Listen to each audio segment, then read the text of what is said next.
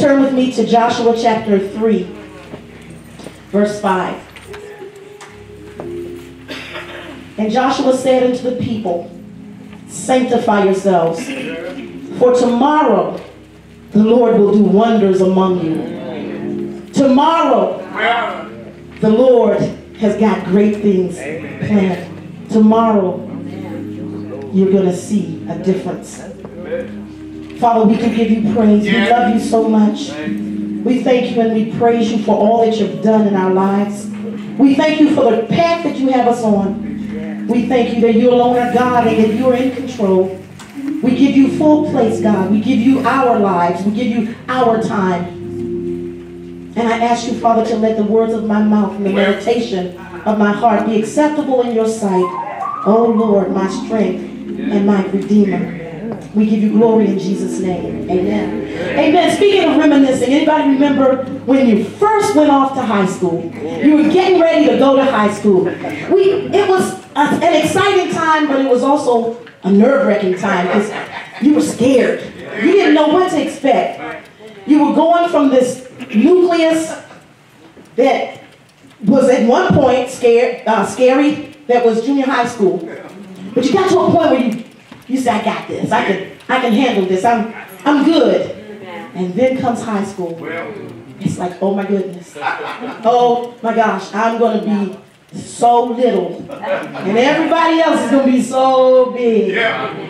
It was exciting. How about your first job interview? Mm-hmm. Same thing. So little. Intimidating. Exciting. How about your first date? Some of them were not so good. Hallelujah. Blessed be God. We're going to move right along. Amen. But you know what? Does anybody remember your first encounter with Jesus Christ? The first time that you really noticed that he was there. Turn with me to Isaiah 6. Isaiah 6. Now, this is a true love story. Isaiah chapter 6. I'm going to start at verse 1. And as um, the minister that sang the songs, he set the stage for this love story. You really set the stage. Thank you so much. Amen. Beginning at verse 1. In the year that King Uzziah died, I saw also the Lord sitting upon a throne, high and lifted up, and his train filled the temple. Above it stood the seraphims.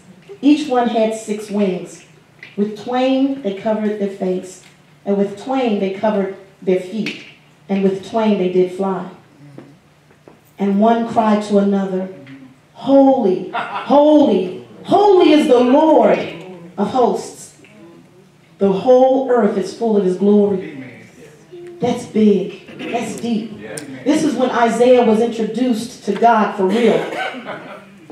He saw him in a real way and he saw the holiness of God. And he said, Oh God, I'm a dead man. I don't deserve to be in this place that I'm in. But God, you're allowing me to see you in all of your glory.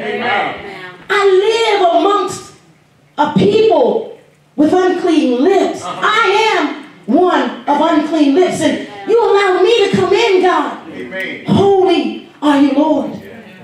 I don't know if I can handle this thing. I don't know if I can bear to be in your presence. But one of the seraphim came, took a coal from the fire, from the altar, and touched his lips. Ah,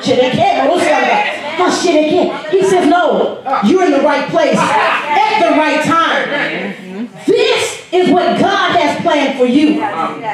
He said, this, Isaiah, is your plan, your path.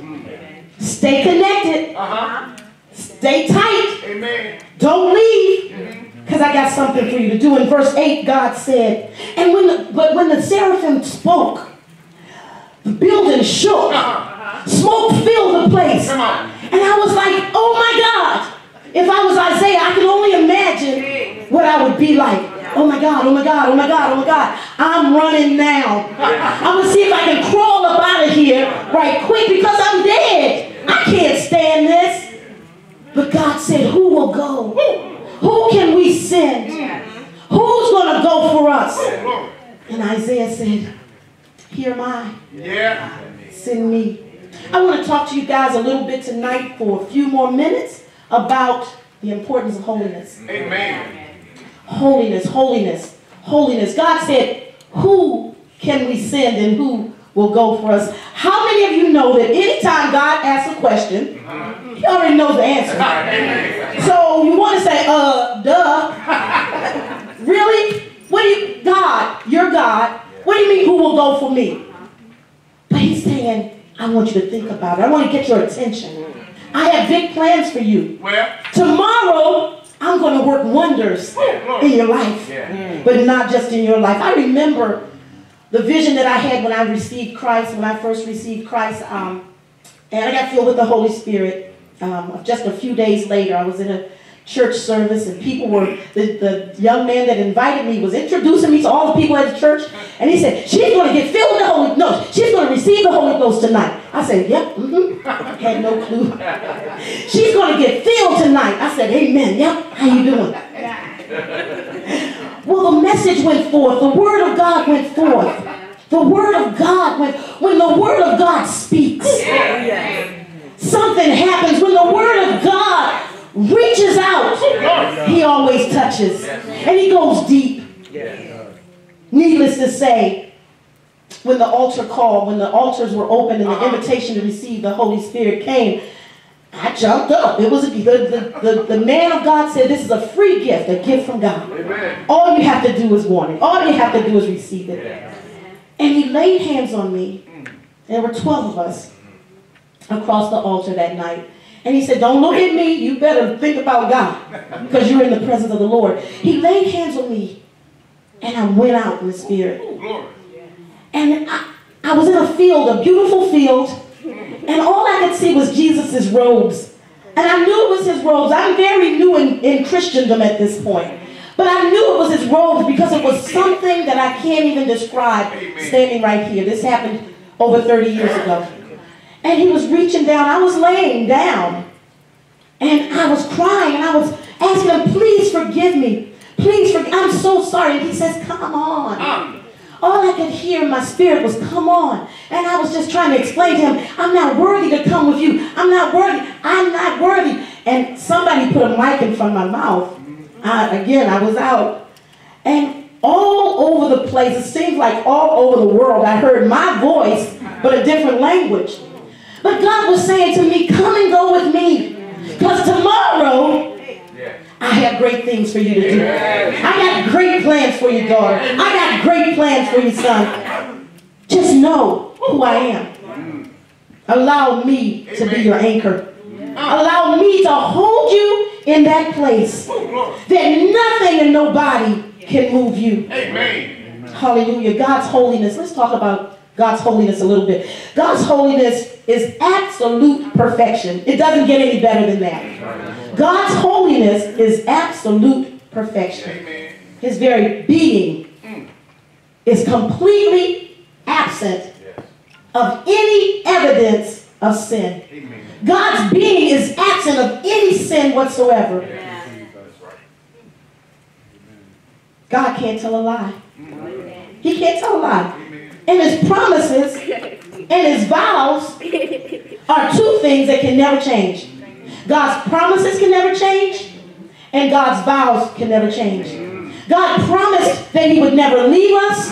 He would never forsake us. He said, I'll be with you always, even until the end of the earth. That can't change. I don't care what you're going through, though the storms keep on raging in my life. The night from day.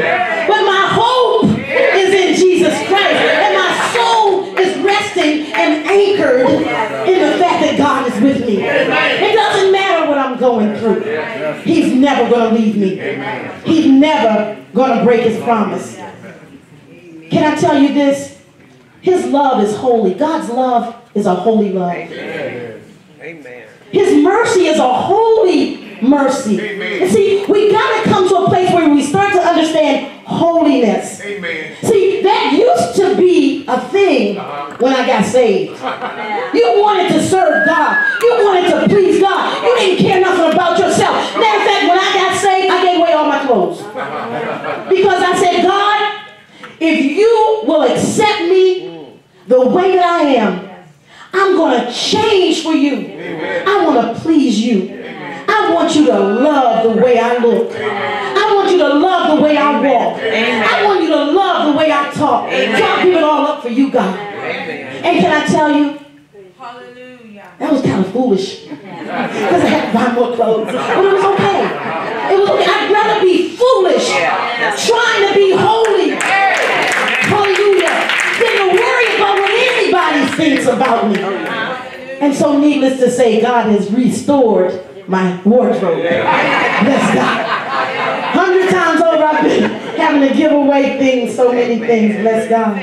But God is good. And God is faithful. And God is looking for that one who will say, I don't care, God. I don't care about myself.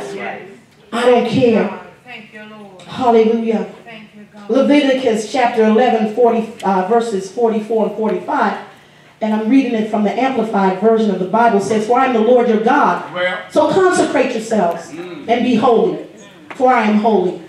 You shall not make yourselves unclean with any of the swarming things that swarm or crawl on the ground. And you know what? Here we are today. Come on. God is saying, I don't care what's going on in America. I don't care what's going on outside of America. Be holy. Because you can be holy. Because I am holy. And because you're in me. And because I'm in you. So be holy. Don't get caught up in all this stuff. Oh, glory. You don't need it. You think you do.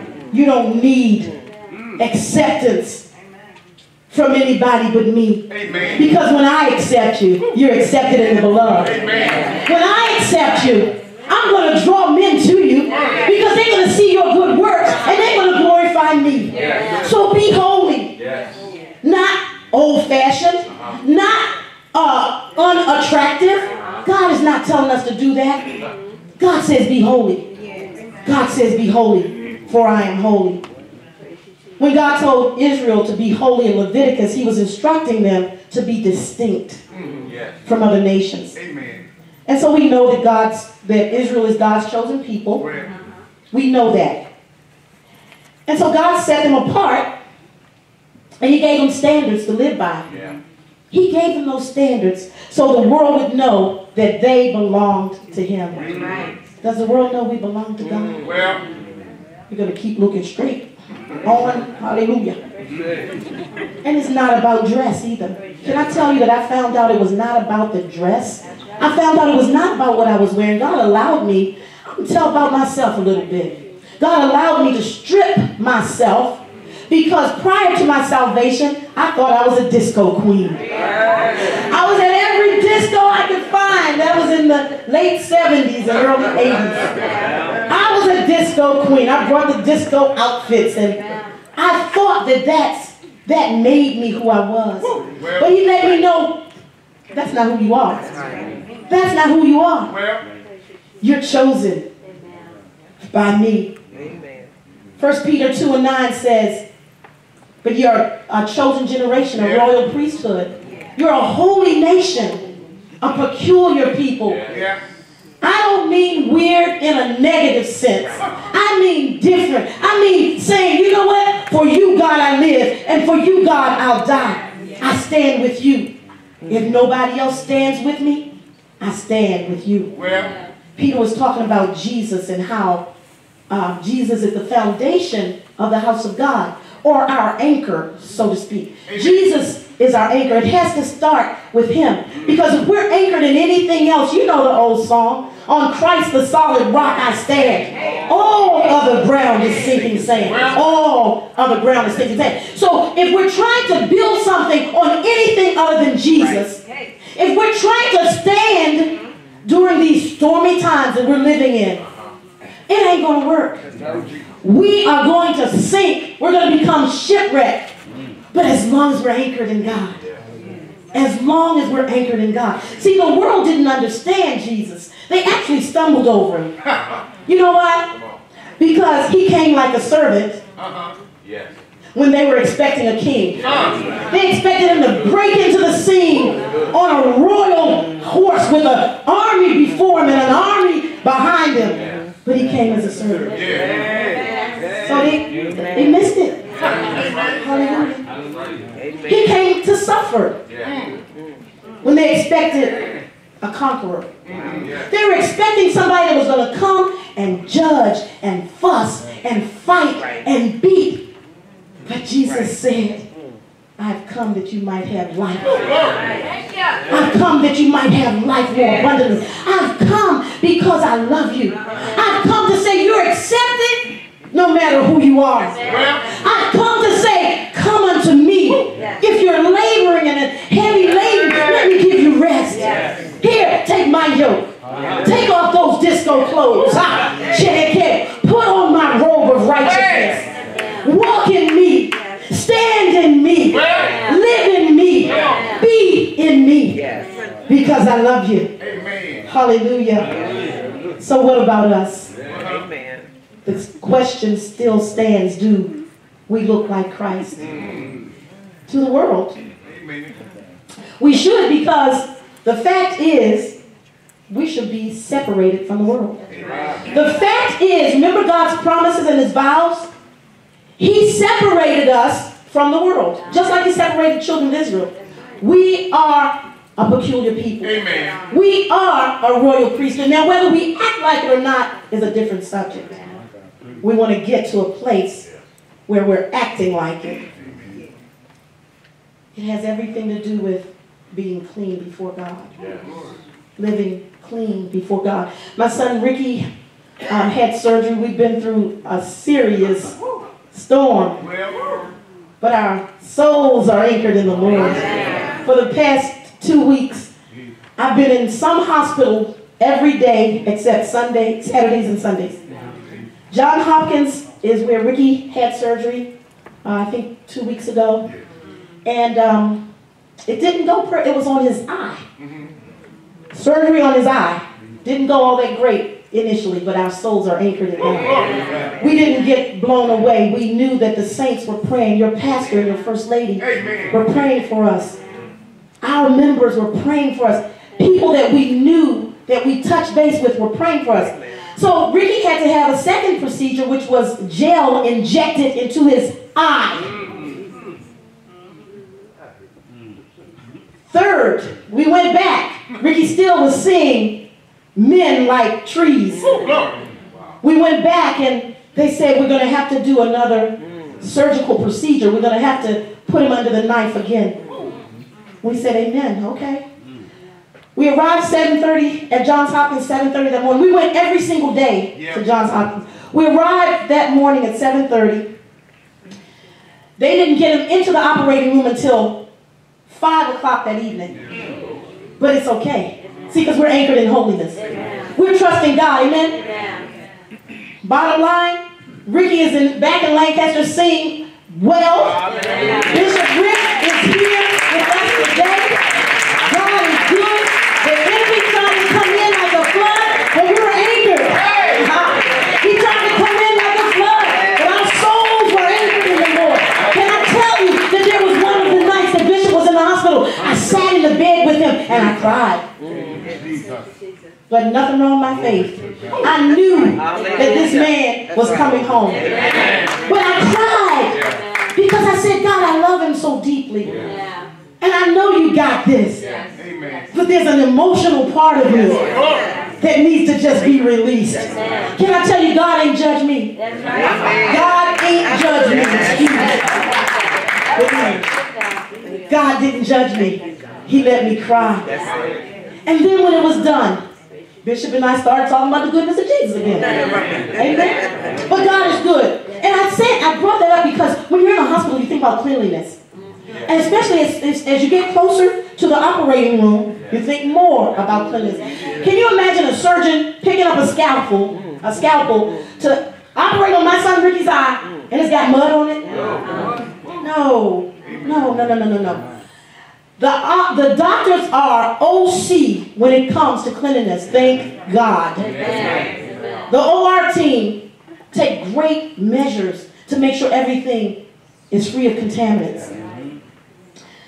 In Joshua 3 again, and you don't have to turn to it, I'll just read this quickly from NIV version. Jo- Joshua told the people, consecrate yourselves. Well, Bishop Jimmy told the people, consecrate yourselves. Reverend Tiffany told the people, Glory. consecrate yourselves. Consecrate yourselves for tomorrow.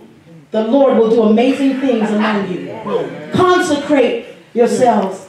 In verse 9 in Joshua chapter 3, it says, The Lord told Joshua, the Lord told Bishop Jimmy and Reverend Tiffany, beginning today, ah. I will show the people that you are their leader, Ah, and they will know that I'm helping you just like I helped Moses. They will know that you're taking them someplace just like the people before you. They will know that you are anointed of God without any shadow of doubt because God is with you, just like he was with Moses. Then Joshua spoke to the people, Come here and listen to what the Lord our God said he'll do. The Canaanites, the Hittites, the Hivites, the, Ber- the Perizzites, the Girgashites, the Amorites, the Jebusites, the lack, the depression, the disgust, the sin, the sickness, the disease, the complacency. All of those things that are trying to rule your land right now. They got to go. They got to go. Because holiness has come. Holiness is in the house. Hallelujah. He said, up until now, they have had some place. But tomorrow, when you wake up in the morning, remember what God said to you tonight. I'm going to do amazing things through you. Now here's what you have to do. Hallelujah. Second Peter, First Peter 1 says, Be alert and think straight. Uh-huh. Put all your hope in how kind God will be to you when Jesus appears. Behave yourself like obedient children. Don't let your lives be controlled by your desires as they used to be. Always live as God's holy people should because God is the one who chose you and he is holy. That's why the scripture says, I am the holy God Amen. and you must be holy too. How dare we try to minister or share with somebody and we know that we're not clean? Remember David, the man after God's own heart? He said, Purge me with hyssop and I'll be clean. Wash me and I'll be whiter than snow. He said, Create, create in me a clean heart, O God, and renew a right spirit within me. Then will I teach transgressors your way and sinners shall be converted to you. David says, Yes, God, I know you want to use me. Yes, God, I've experienced you, I've encountered you. But that's not enough. Well, It's not enough to come to church and have hands laid on you. It's not enough to come and have your pastor and have your pastor and your first lady minister to you. It's not enough. It's not enough. Holiness is what God is requiring. Holiness is what God is saying. So holiness is a determination to do what Christ would do, no matter what. Holiness is saying, I recognize who I am. I recognize that in my own flesh dwells no good thing. But I also see you, Lord. You're high and you're lifted up.